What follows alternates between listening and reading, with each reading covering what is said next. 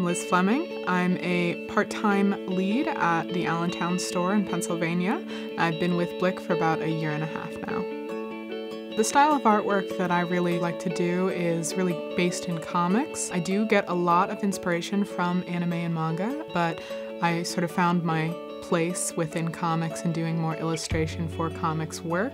That's sort of what makes me feel happy and what sort of has worked out for me. I do have a webcomic called Toil and Trouble, and in that it's sort of like a slice of life kind of romantic comedy um, about witches, so it's a little bit far removed from the regular romantic comedy, if you will.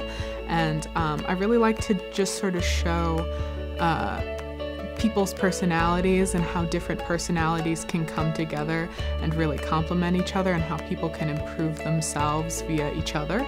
When creating characters for comics, especially in your own personal work, a lot of times it's not something that you do actively, but a little part of yourself always sneaks into your characters just because you need to have that basis for, in reality, to be able to write a character convincingly.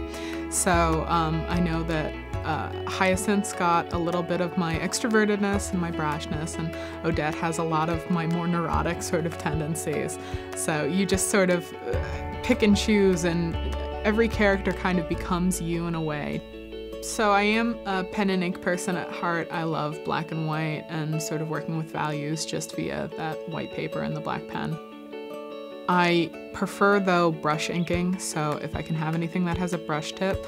The Tombows do have a really wonderful brush tip, so I have used that before, just to sort of get that variation of line without having to switch between multiple pens when you're trying to figure out ideas for the comics and you know doing thumbnails and stuff it's always good to have sort of a small notebook to take around with you. I really like the moleskines for that. Uh, they just have really hardy covers. They stay together well and so i can just slip it in my purse and if i have a sudden idea for something i can just pull it out and real quick work on it. And uh, you know then when i get home i can take it to maybe another notebook and sort of really fully realize it when I do conventions, I mostly sell prints, but actually my biggest seller is when I do commissions.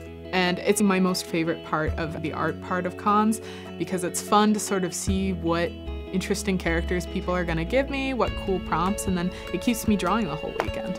I have, since working at Blick, met a lot of comic artists who I hadn't expected to meet and really made some connections with artists who I wouldn't usually know other than working at Blick.